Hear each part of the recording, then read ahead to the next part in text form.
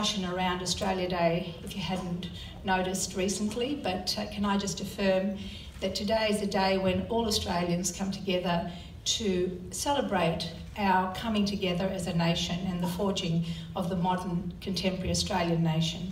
Australia is a country that has an Indigenous inheritance. We have the oldest continuous culture of people living here, the Aboriginal people, and it's very important that we acknowledge our Indigenous inheritance. And finally, the best way to do that is to acknowledge our first people, the Aboriginal people of Australia, in our Constitution. But we're also a young nation that's been forged through immigration.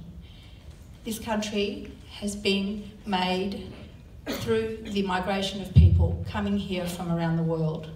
And today's citizenship ceremony marks the 70 years since Arthur Calwell, um, of which the federal seat of Calwell is named after, who, who the seat is named after, Australia's first immigration minister, instituted the Australian Citizenship Act. And if you look at the time and the thinking of people like Arthur Calwell and the then Labor government, forging an Australian citizenship and putting it into law was, as the Mayor has said, the beginning of the Australian identity. And the first Australian citizen was Ben Chifley, the then Prime Minister, given citizenship by the Immigration Minister. And those people who became Australian citizens represented the first wave of migrants to this country. So the importance of citizenship isn't just a legal binding to the country, it's also an acknowledgement that those who come here have equal status as Australian citizens.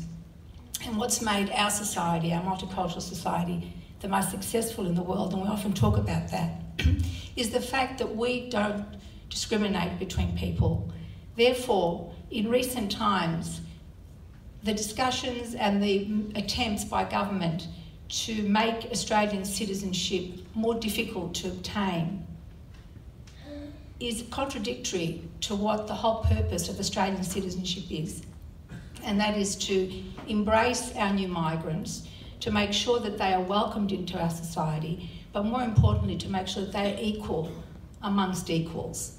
So, for those of you who are becoming Australian citizens today, it's a very special day, it's a very important event marks your commitment to Australia and to be part of our very cohesive multicultural community. You are the new wave of migrants. Just as 70 years ago, uh, migrants from Europe, who, who were the first wave of the uh, post Second World War migration program, just as they came here to be members of, uh, to, to nation build and to be the first Australians, or the new Australians rather, you now form the next wave of migrants, and we welcome you.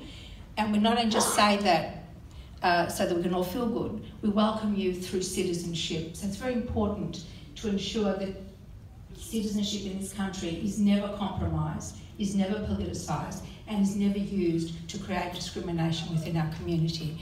So on that note, I'd like to, ahead of you becoming Australian citizens, I'd like to congratulate you I'd also like to very quickly congratulate our Citizen of the Year, Val Price, our Young Citizen of the Year, Stephanie Chalice, and the Community Event of the Year, the Sunbury Agricultural Show. These awards are important because they acknowledge the work that we do at a community level to uh, progress our community and to foster good relationships amongst our neighbours and our fellow uh, citizens. Can I also very quickly um, congratulate Drew Jessop on his uh, or, on his order, uh, his honour today rather. Drew uh, is a long-serving citizen of the Hume community, and I know he's probably a bit bashful, but it's it's it's a great award for you, Drew. Congratulations, and it's a recognition of the selfless work that you have put into our community. And on that note, uh, I'd like to thank you all and uh, happy Australia Day.